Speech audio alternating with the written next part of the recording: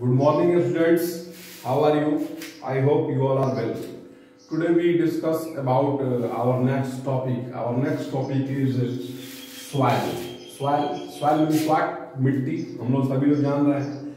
जो हमारा land form है, जो हमारा लैंड सरफेस है, उसके ऊपर का जो आपका मतलब ग्रेडी सबस्टांस है, जो जो आपका कण है, जो ग्रेडी सबस्टांस है, वो आपका, वही मिट्टी है, हा? जो हमारे ऊपर लैंड फॉर्म के ऊपर जो दिख रहा है तो हम लोग आज मिट्टी के बारे में पढ़ना है कि आपका जो दानेदार सबस्टांस है the thin layer of grainy substance covering the surface of earth is called soil soil किसे कहते हैं? तो जो हमारे पृथ्वी का जो सरफेस है आ, जिस सरफेस को कवर किया गया है कवर हुआ है आपका ग्रेनी सबस्टांस ग्रेनी सबस्टांस है ठीक है? दानेदार जो कण है, उससे जो आपका सरफेस कवर हुआ है, उसी को हम लोग स्वाइल के रूप में जानते हैं। ये स्वाइल है या मिट्टी है, ठीक है? आगे देखिए it is closely link to the land okay it is closely link to the land अब ये लैंड से जुड़ा हुआ है, क्योंकि आपका लैंड जो है, उसके ऊपर ही स्वाइल है हाँ? लैंड के ऊपर ही स्वाइल है तो ये लैंड के साथ में लिंक है, ठीक है? जुड़ा हुआ है। आगे आप देखिए कि सॉयल्स का जो टाइप है, वो land forms determine the types of soil अब जो there are various type of soils we all know that red soil black soil और alluvial soil many types of soils so now we have look here land forms determine the types of soil land form जो है, वो soil का आपका ए, मतलब type को determine करता है। तय करता है लैंड फॉर्म्स किस प्रकार का जहाँ जैसा लैंड फॉर्म होगा जहाँ जैसा ज़मीन होगा हाँ उस प्रकार का वहाँ को वैसा सॉइल मिलेगा। जैसे माउंटेनियस एरिया है तो वहाँ उस तरह का सॉइल मिलने की संभावनाएँ है जो वहाँ उसका अलग है, आपका ये है। प्लेन्स एरिया है तो वहाँ पे आपका सॉइल देखते हैं एलुवियल सॉइल मिलता है प्लेटू एरिया है वहाँ देखते हैं black soil red soil laterite soil different type of soils मिलते हैं। तो ये कहीं ना कहीं ये आपका डिपेंड करता है आपके लैंड फॉर्म्स के आधार पे, ठीक है? आगे देखिए soil is made of organic matter minerals and weather rocks found on the earth अब आपका जो सॉइल है, उसका फॉर्मेशन कैसा होता है? How soil formed soil is made up of organic matter जो सॉइल है, जो मिट्टी है, उसका निर्माण कैसे होता है? जो ऑर्गेनिक मैटर है, जो जीवाश्म पदार्थ है, ठीक है? पेड़ हो गया जीव जंतु ये तमाम चीज़ जो है हाँ और जो आपके इंसेक्ट्स बहुत तरह के ऑर्गेनिक मैटर्स जो हैं, उनके उनके उनके अवशेष, उनके मरने से भी मतलब आपका सॉइल में उसका कंटेंट रहता है। हाँ ऑर्गेनिक मैटर्स मिनरल्स जो खनिज वगैरह है हाँ खनिज है, उसके माध्यम से भी आपका इसका होता है।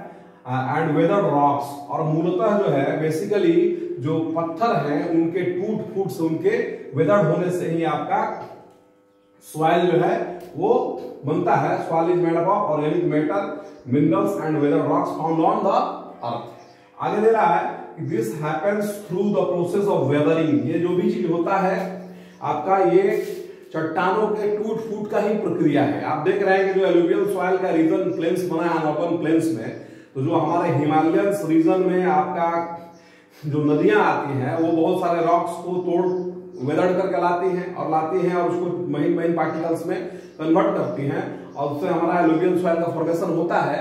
उसी प्रकार आप जो ब्लैक सॉइल बनता है इग्नियस रॉक मेटामॉर्फिक रॉक्स इन तमामों के वेदर होने से टूटने फूटने से सैलों के टूटने फूटने से रॉक्स के टूटने फूटने से आपका सॉइल का निर्माण होता है फॉर्मेशन होता है तो this happens through the process of weathering the right mix of minerals and organic matter make the soil fertile अब सॉइल जो है उसको फर्टाइल कौन बनाता है? उपजाऊ सॉइल कोई हो इसके लिए कौन उत्तरदायी है तो इसके लिए the right mix of minerals minerals जो है खनिज का जो मात्रा है वो सही होना चाहिए एंड ऑर्गेनिक मैटर और जीवाश्म का जो मात्रा है वो सही होना चाहिए। तब जाकर कोई सॉइल जो आपका।